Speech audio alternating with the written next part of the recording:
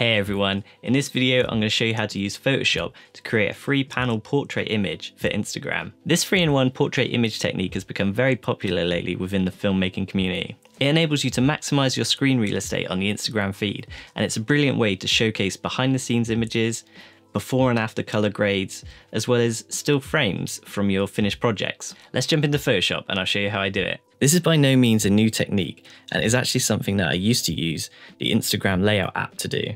Now though, as you can access to Creator Studio and upload to Instagram directly from your computer, it now makes your workflow a lot easier without having to use your phone. Okay, so first up, you will need to open up Photoshop and create a new document. Set the width to 1080 and the height to 1350. This is the maximum portrait size for Instagram at the moment. By creating it exactly this size, it saves Instagram the trouble of having to heavily compress my images and you end up with better and sharper results. The next step is to set up your guides. Select View and find New Guide Layout. Make sure columns and margins are unselected as we just need rows. I personally prefer the free panel layout, however you can use as many as you need. So now that we have our guides set up, it's time to bring in the images we want to use. You can either just drag and drop them in, or you can use the script to import the files into a stack. Once you have your images imported, you can arrange them how you like. Now we're going to use masks to hide the sections of the images we don't need. I do it this way as it's a non-destructive workflow and it will allow me to recover the full image and rearrange them again if needed.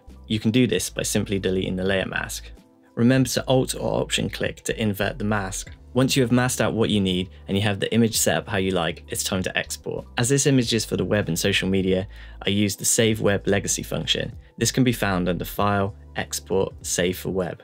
In the export dialog box, make sure JPEG maximum or 100% quality is selected. As I mentioned earlier, this is the exact size needed for Instagram, and so there will be minimum compression needed. Make sure convert to sRGB is selected. Under image size at the end, I use bicubic sharper as I'm resizing much larger images to a fairly small file.